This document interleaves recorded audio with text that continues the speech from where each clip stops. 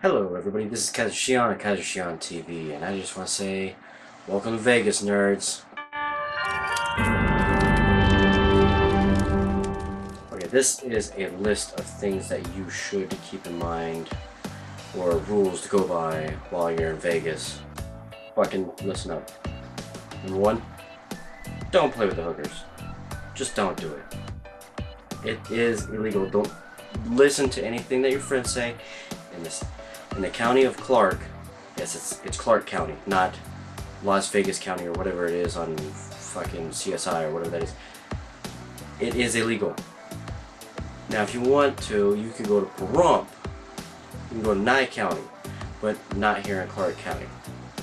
They're criminals. They will not hesitate to pull a knife on you.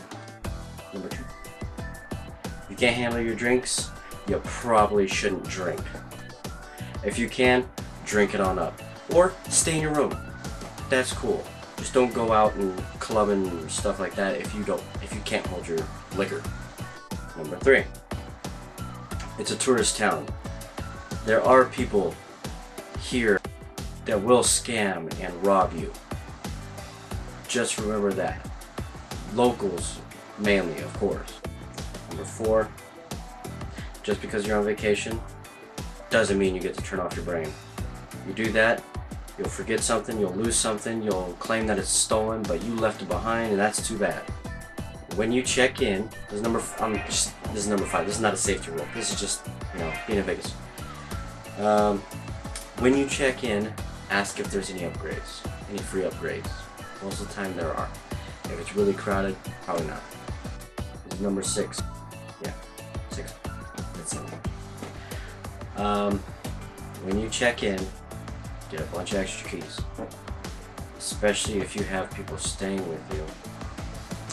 And put their names on the room. If you have people staying with you, put their goddamn name on the room. Put their fucking name on the fucking room. And make it easier if they get drunk and locked out, whatever, whatever. Makes it easier on everybody. Trust me. And that's pretty much it.